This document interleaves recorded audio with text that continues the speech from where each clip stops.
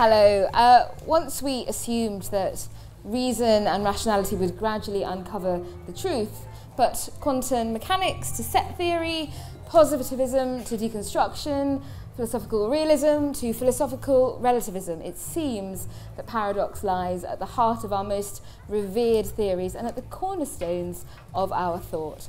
Are these paradoxes evidence that our theories are wrong?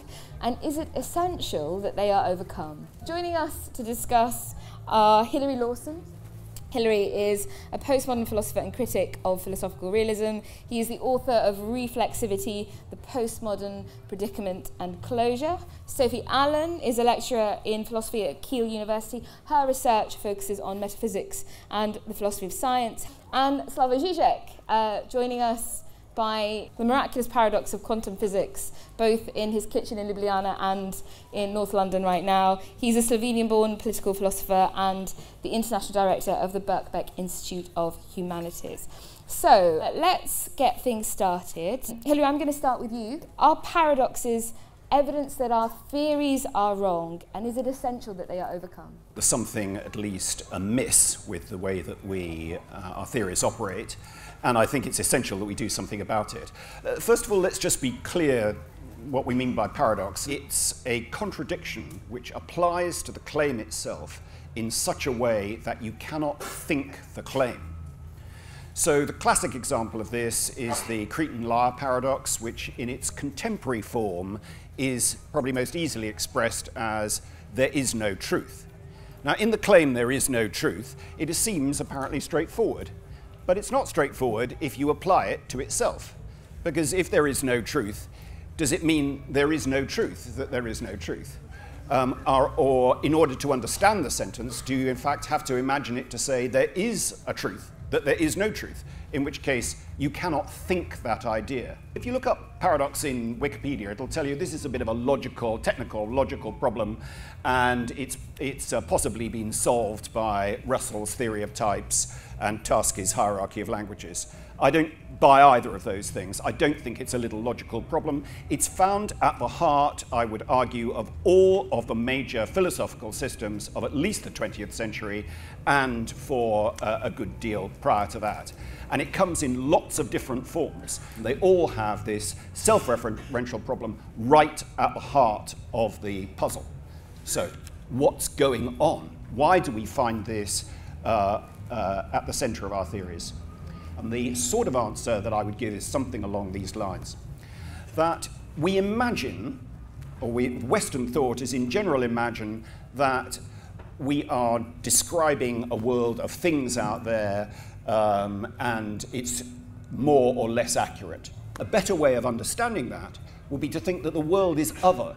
It's not like language at all. Language divides things into things, and it divides them into characteristics. But that's no reason to think that the world is divided into things and characteristics. It's like a metaphor for the world. But they don't enable us ever to describe the other that's out there. There's always an infinite gap between our ideas and the world. And it is in thinking that we might be able to close that gap and actually say how it is that we get into these uh, paradoxes. This account that I've given you, this story of closure, uh, you might say, well, aren't you claiming that that's true? The account that I've given is an attempt to describe why it's possible to describe the world, uh, uh, why it's possible to say things and intervene in the world without it having to be true. It's very tantalizing. Thank you, Hilary.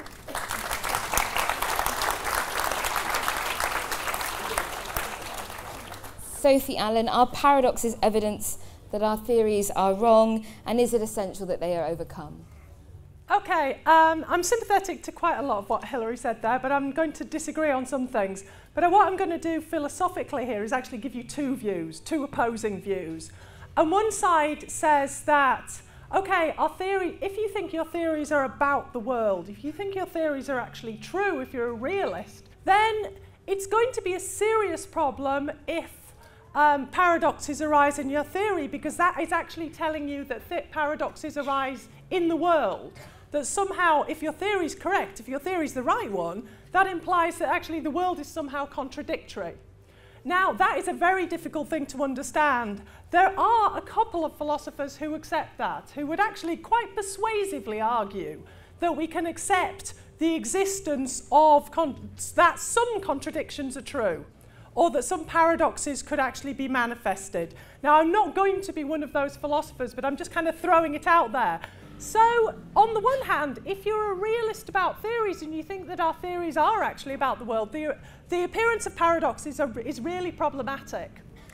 On the other hand, if you take the view, it's perhaps similar to what um, Hilary's described. Our theories are trying to model the world, they're trying to explain the world. They may not actually pick out what's actually in it. They may say things that we can, they may predict and explain what's going to happen, but they won't actually tell us what the world contains. In that case, a paradox is not quite as big a disaster when it appears in your theory. When you get a paradox appearing, you can actually look at things and say, okay, we're making, we're making a definitional mistake, we're making a conceptual mistake. Now, I think it's not possible to eliminate paradoxes entirely, but they are going to, they're going to appear, but I'm not sure it's inevitable that they'll appear.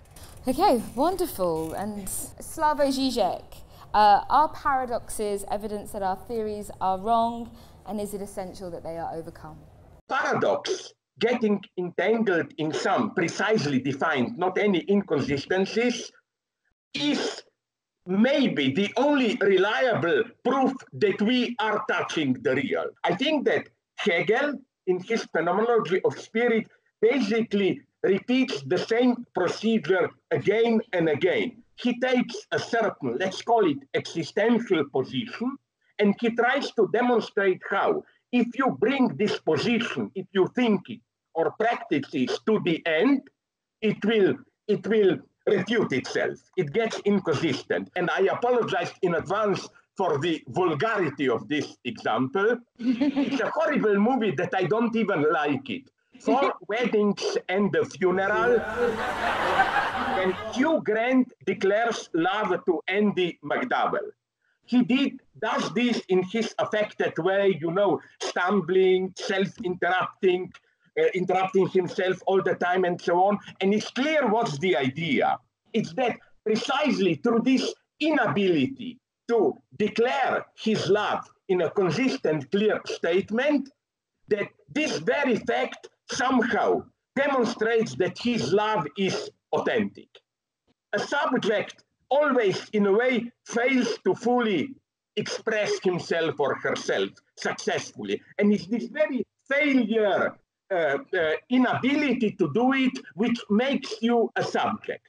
I don't think we should be afraid of paradoxes, but we should definitely not confuse, let's call, call them naively somehow, serious paradoxes with this cheap either deconstructionist jargon or whatever, where anything say when you don't know what to say clearly, you escape into cheap metaphorics and so on and so on. So again, as a Hegelian, I think that our very distance towards reality, I'm not there, I cannot grasp the world, is a feature of the world itself. The world is in itself inconsistent and so on. Thank you. now, this is a paradox. How people could be so stupid to applaud to this miserable improvisation. yeah. Yeah oh my god, I cannot get out of it, sorry.